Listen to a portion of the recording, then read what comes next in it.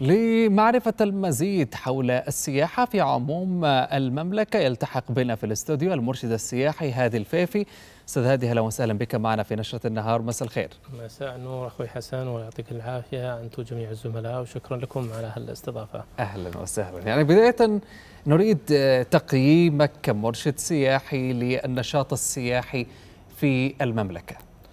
بسم الله الرحمن الرحيم. يعني الآن النشاط السياحي في قمته أعتقد بالنسبة لمثل هذا الموسم وفي هذه الفترة التي يعتبر العالم فيها شبه مقفل الآن. نحن الوجهة السياحية الآمنة بما اتخذته الحكومة من تدابير لاحتواء هذه الجائحة وأصبحنا البلد الآمن صحيا وأمنيا لاستقبال الزوار والسياح لاكتشاف موروثات هذه البلاد الكبيرة ولله الحمد. طيب ما أهم ما يبحث عنه السائح هذا اليوم في هذا الوقت خصوصا من السنة؟ آه، طبعا يعتبر موسم الشتاء هو أحد المواسم آه، التي تغطي آه، غالبية مناطق المملكة بحيث أن السائح يستطيع التجول في جميع أرجاء المملكة في هذا الجو المناسب لكل المناطق. آه، يبحث عن البرامج عن الفعاليات عن التأريخ عن الثقافة عن الأثر كلها يجدها في مثل هذا الوقت المناسب من السنة. آه، أيضا رافد آخر هو التكامل مع الجهات المنظمة الأخرى كهيئة الترفيه ووزارة الثقافة بما تضفيه لنا من فعاليات وأنشطة. آه، تكون وجهة أساسية لأي زائر أو سائح لبعض المناطق. طيب كيف تقيم حجم الرضا عن الخدمات المقدمة في المناطق لخدمة السائحين والقادمين إلى هذه الوجهات؟ حقيقة حجم الرضا أستطيع أن أكون متفائل وأقول أنه في ازدياد مطلق. لم نصل إلى الحد المطلق من رضا السائح ولكن نحن آه، بكل أمانة ومن خلال الميدان نبهر العالم بما نوازي به آه، مصاف الدول الأخرى في آه، الخدمات السياحية. نحن الآن أمام السائح الأجنبي. أتحدث معك في وقت قصير جدا. استطعنا أن نلبي احتياجات السائح من البرامج البحرية في رحلات الكروز وفي التناغم مع متطلباتهم باللغات المتعددة سواء الآسيوية أو الأوروبية منها بحيث أصبح السائح يجد كل مبتغاه وبرضا شبه يعني آه، تام عن الخدمات المقدمة. آه، يحتاج قليلا من إذا صح التعبير الخدمات الإضافية كالنقل كالتواصل بين المناطق. نحن نتكلم عن قارة آه، كبيرة آه، في المملكة العربية السعودية. نحتاج إلى مشغلين خطوط طيران أو نقل بين المدن. أيضا زيادة الرحلات البحرية فيما يتعلق بالنقل إلى الجزر. وكثير من الخدمات والآن تسير في هذا الإطار بإذن الله. يعني من الملاحظ أن والمعروف كذلك أن الرياض هي آه، التي آه، تحتضن الموسم الأكبر نعم. للسياحة حاليا والترفيه. ولكن آه، ماذا عن المناطق الأخرى؟ في الجنوب في الشمال وغيرها كذلك.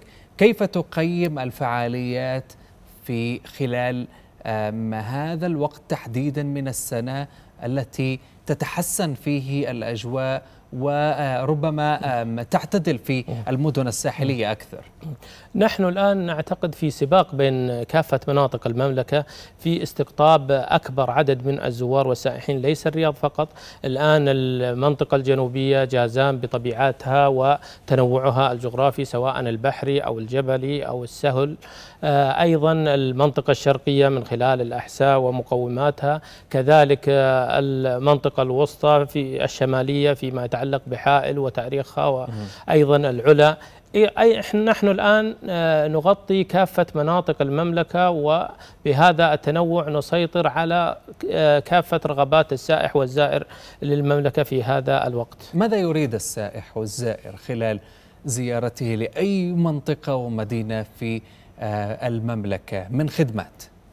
الخدمات التي يبحث عنها بشكل أساسي هي نتحدث عن الإيواء وعن النقل يبحث عن تنافسية الأسعار في هذه الخدمات لجذبه بشكل دائم.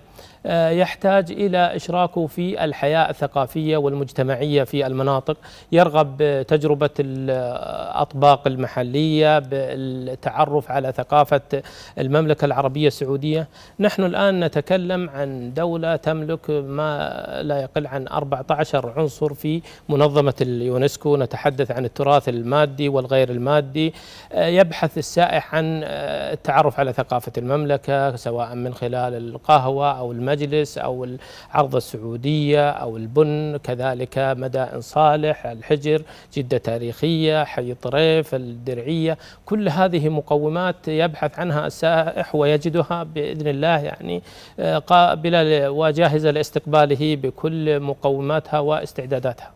ما هو دور المرشد السياحي الذي يتواجد في أي مدينة من مدن المملكة في التعريف بمدينته التي يسكن فيها وآثارها وما تحويه من كنوز. يعتبر المرشد السياحي هو السفير الحقيقي للبلد ولتراثها وثقافتها. دعني أبدأ معك هنا من تصريح الدكتور فواز الدهاس قبل أمس مدير المركز التاريخي بمكة المكرمة في مجال قرار إدارة الملك عبد العزيز. بعدم السماح للحديث عن تاريخ مكة وتراثها وثقافتها بغير موثوقية مطلقة وبالتالي يجب الرجوع إلى المصادر الحقيقية المحققة. على سبيل المثال نحن الآن بحاجة إلى مرشد يكون لديه المعلومة الصحيحة والصادقة والموثقة والمثبتة من قبل الجهات المختصة في هذا الشأن على سبيل المثال. فهنا يأتي دور المرشد بتقديم البلد وكنوزه ومحتوياته بالطريقة السليمة والصحيحة لأي سائح ما الذي تطمح له كمرشد سياحي في فيما يخص الإرشاد السياحي في المملكة؟ حقيقة الطموح الحقيقي هو أن نكون عند حسن ظن عملائنا وبلدنا في تقديم الصورة الحقيقية والمشرفة عن هذا البلد لاحتواء جميع الزوار وتلبية رغباتهم من خلال ما توجهوا إلينا به من طلبات في اصطحابهم إلى هذه المواقع وهذه المراكز في المملكة العربية السعودية. رسالة أخيرة تقدمها للسائحين وكذلك مقدمي الخدمات في عموم المملكة للسائحين. رسالتنا هي رسالة البلد بشكل عام أهلا بالعالم. السعودية على أهبة الاستعداد لاستقبال جميع زوارها بصدر مفتوح وبمحتوى لا محدود من التراث والثقافة والحضارة التي ندعو الجميع للحضور والتعرف عليها من خلال هذه المقومات الرئيسية.